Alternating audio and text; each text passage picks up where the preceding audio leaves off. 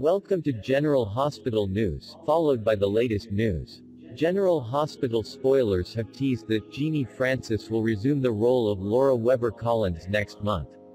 November sweeps is the perfect time for Laura to return to Port Charles, as fans are wondering where the busy mayor has gone lately. She just let fans know that she will be returning from New England to LA and we have confirmed that she will be back for the November Scan show.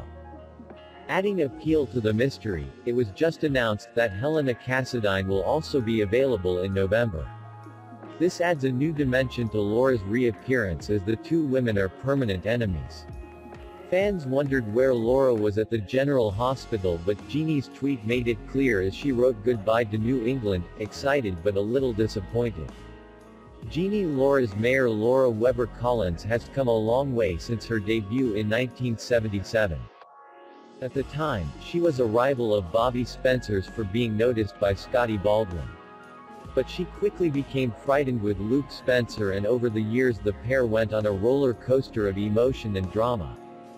Soon after, they became a couple in the daytime drama Luke and Laura and millions of teenagers took a break from school at home to watch their prized wedding. Laura is now married to shrink Kevin Collins and runs the town of Port Charles.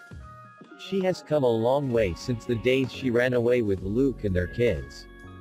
Now she's against the bad guy Cyrus Renault, who has a passion for the brilliant blonde. Will the two of you one day connect because Laura has something for the bad guys? Then again, the gossip journalist GH made headlines with speculation that Cyrus and Epiphany Johnson were about to have a relationship. Laura didn't stray from Port Charles because this week her daughter Lulu Spencer brought Kevin the lunch her mom made for him. We assume that Laura is multitasking in the background, and when we meet her the next time she might have a solution to her Cyrus problem. Thank you all for watching my channel. Hello and see you in the next videos.